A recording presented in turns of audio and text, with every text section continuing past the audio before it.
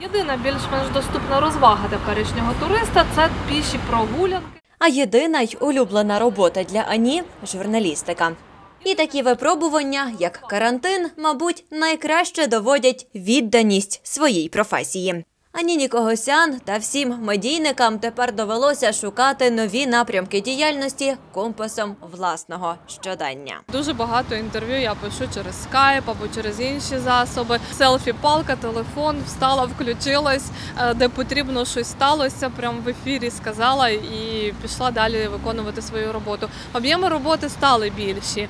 І якщо раніше сьогодні ввечері можна було бодай приблизно спланувати роботу на завтра, то тепер здебільшого життям керує спонтанність та оперативність. Хоч для новинарів такий режим звичний.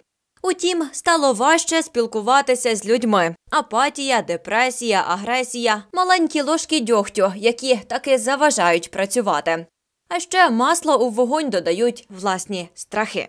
Є якийсь внутрішній страх, особливо коли працюєш, де є натовп людей, от кордони, коли заробітчани поверталися. Мало того, що вони втомлені і десь були прояви агресії. Я їх розумію, бо коли людина стоїть там по 8 годин, по 5 годин на кордоні, то їм не до того, щоб журналіст прийшов, щось в них запитував.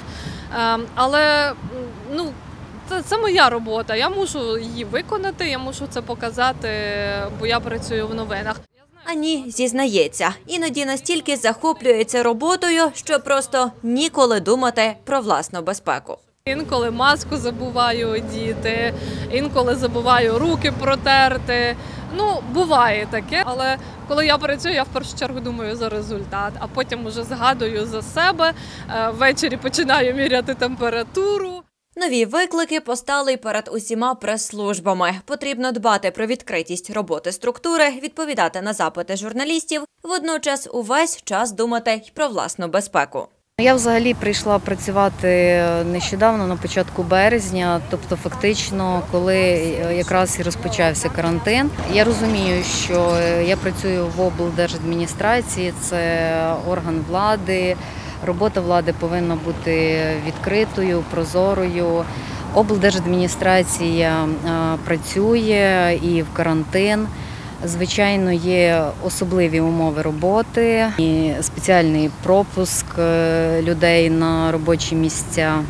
Із початку карантину в департаменті інформаційної діяльності та комунікації із громадськістю Закарпатської ОДА організували роботу медійників так, аби якомога менше навіть самі журналісти контактували між собою. Скажімо, брифінг знімає один чи два відеооператори, які потім діляться відзнятим матеріалом з усіма колегами. А ще коли дотримуватися протиепідемічних норм, то хвилюватися немає за що, каже Марина Коваль.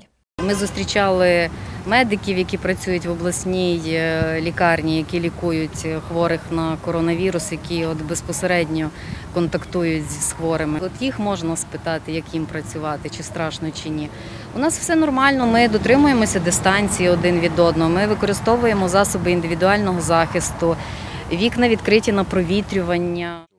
Той день Ласло Балох пригадує як особливо напружений. Знімав життя медиків і пацієнтів із середини лікарні. Ну, кому-то э, по-любому это надо было сделать, то есть э, в любом случае. То есть если другие отказались, э, все равно есть один человек, который это обязан сделать. То есть э, нельзя все так оставить, и мы будем только снаружи снимать, а внутрь никто не хочет.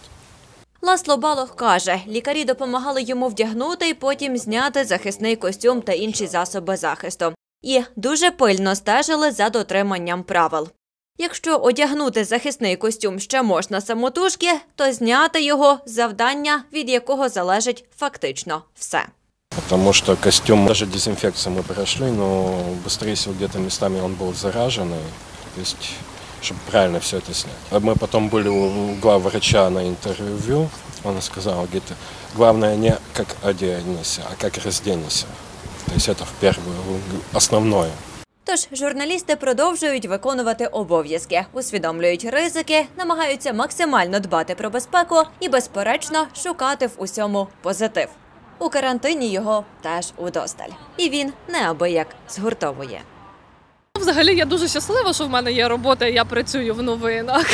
Є можливість десь вийти, все одно десь спілкуватися. У мене позитивний настрій. е, Вірю, що все буде добре. Мені здається, як була е, такою і залишилася. І- мені подобається, що навіть колеги е, стали більш прихильними один до одного і почали допомагати.